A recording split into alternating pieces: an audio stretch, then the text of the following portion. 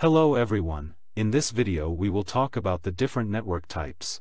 Network types depends on how large and the area they can cover geographically. People who have a basic knowledge of networking are familiar with the terms LAN and WAN. In addition to this, there are few more network types that a lot of people are not acquainted with. So this is what we will learn in this video.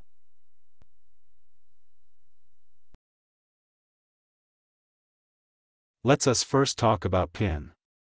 PAN stands for Personal Area Network.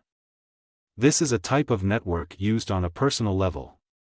It's a small network used for connecting devices such as laptops, tablets and phones, and they connect to each other by using wireless technologies such as infrared, Bluetooth and near-field communication, NFC. They can also be connected by using wired connection such as USB. They are used for transferring photos, music videos and others.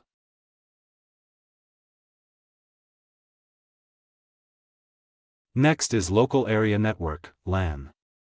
A LAN connects a group of computers or devices together across a local area.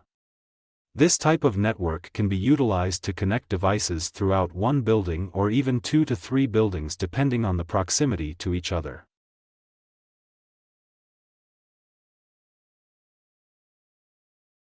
Next is Wireless Local Area Network, WLAN.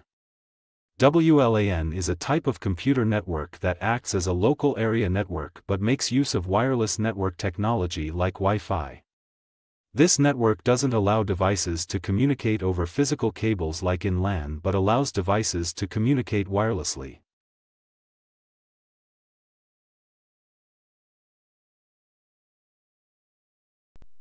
Next is Campus Area Network, CAN.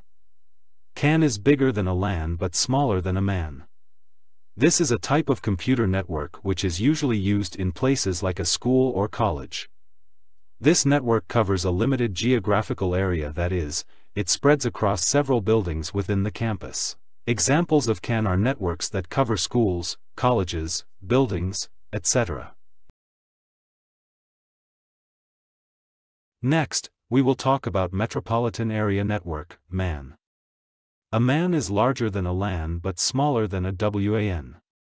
This is the type of computer network that connects computers over a geographical distance through a shared communication path over a city, town or metropolitan area. Examples of MAN are networking in towns, cities, a single large city, large area within multiple buildings, etc. Lastly, let's talk about Wide Area Network, WAN. Remember that there are other types of computer network. WAN is a type of computer network that connects computers over a large geographical distance through a shared communication path. It is not restrained to a single location but extends over many locations. WAN can also be defined as a group of local area networks that communicate with each other.